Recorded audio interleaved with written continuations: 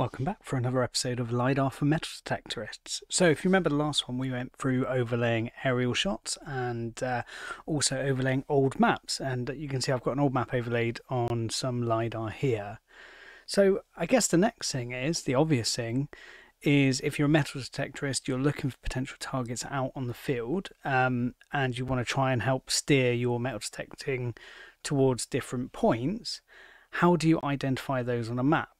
So, for instance, we can see lots of field workings under here um, that we might want to go and investigate, or let's say we wanted to investigate these individual uh, recesses here. How do we identify those? How do we put a marker on the map?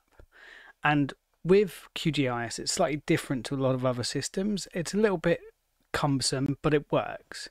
So, how you need to think about it is you need to think about it in terms of line features, dots, and polygons and how you want to record each. So when I'm recording targets um, that I want to go investigate, I will normally record those as a polygon. But if I was marking up line uh, field lines, I might just do that as a line feature. So in order to do that, let's add a couple of layers here. The first one I'm going to add, and you need to go up to new shapefile layer up here. Click that one, and the first one I'm going to add is fields and for the fields I'm just going to mark the old field boundaries. You need to name it. Um, this one the new field name needs to be quite short so keep that short as you can. And you need to select the geometry type. So for this one I'm just going to do a line string. And once you've got that selected leave everything else as it is and just press OK.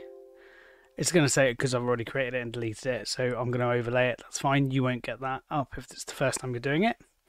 And you can see fields has popped up down here but how do I add anything? How do I do anything with it? And this is part of the reason it's a little bit cumbersome.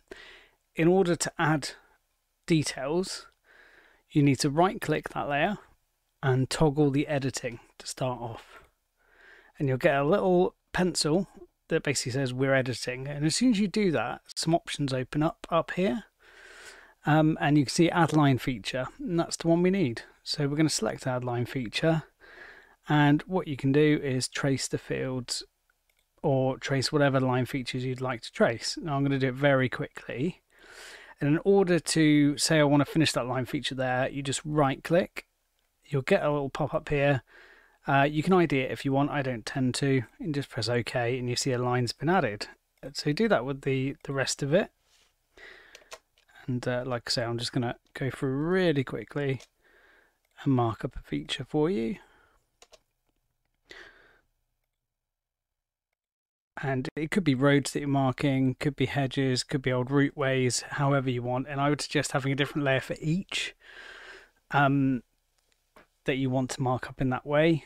And then in terms of how you want it to look, the, there's plenty of options over on the right hand side here. You can see in the styling panel, uh, you can make it simple red, green, change the color here, choose very specifically. So I'm going to just change it to a simple yellow line for now so that it shows out against the grey and that's how we would add a line um, fields feature, if you like.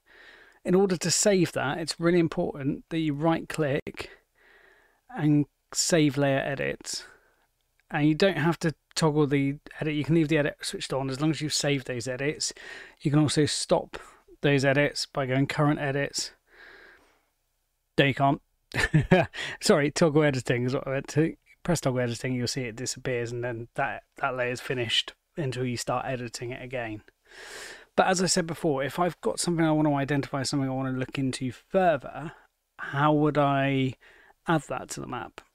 So I'd add a second layer here, and I'm going to call that, um, let's call it target, because that's what we're talking about. So I'm going to call this layer targets.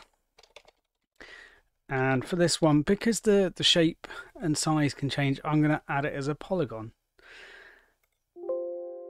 Again, it's going to say that it exists because I've added it and deleted it, etc. So you'll get up something like this. And remember, in order to edit that layer, you need to right click and toggle the editing. So once you've got the little pencil up in there, there'll be a little option menu up here and there's a button to add polygons. So let's say I'd identified something I want to look at. Um, let's find something on the map. So here, probably some kind of tumuli, something like that. But say that's a target I want to investigate, I'm just going to draw a very quick box around it. Um, you can obviously zoom in, be much more specific about how you want to look at that. And there it is. Um, I would typically change the opacity to suit and change how that feature looks. So so it stands out a little bit more. And then any other feature say I wanted to look into this here you just add whatever features interest you that you may think uh, are going to be interesting for checking out with the metal detector. Um, and this is really handy because you can see at a glance layering over an old map you can see what already existed uh, in the 1800s, for example. You can see what predates that, um, and it takes time to get used to it. But I can see on this map, and this is a bit of an exception, that we have some really old field boundaries. Part of that is down to size, part of that is how they're put together. Um, so I would identify these as a much older field, so that's something I'd want to go and look at if I was looking at another bit of LiDAR data. Um, it might be a round feature, it could be an old foundation for a building, and you can mark anything you like, be as specific as you like, because obviously we can zoom in if you wanted to, but let's say that's like an old foundation for a house, we've marked that on the map. But how does that work out? How does that apply to you in the real world? Well, there's plenty of apps you can get for Android or Apple that are able to read GPX files. Um, or you can convert them to a KML file so it can be read in the likes of Google Maps or Google Earth, for example. I tend to use GPX files, which is the open format, um, and I use a bit of software called Maverick, which can read GPX files. So I just export them to my phone, and say I want to take the targets layer with me. Uh, so I'm out in the field and I can work out exactly where I am in relation to the things I've identified on the map in order to take that layer with me, I just right click, export, oops, and then save features as. And you see it's already in a GPX format. I just label it up and I'll export that out to my phone.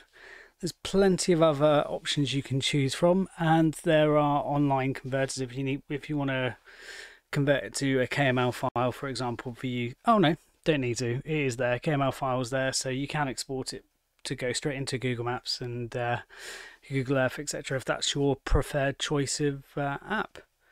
And that's pretty much it. Really simple. Um, you can build up a good picture of the kind of things you want to investigate, what's important to you, and uh, and then export that for use um, on out in the field. Thanks for watching along, and keep an eye out for the next video where we'll be covering more in metal detecting no, we won't be doing that. We'll be covering more off in LiDAR for metal detectorists. Thanks for watching. Check out the other videos and subscribe. Cheers.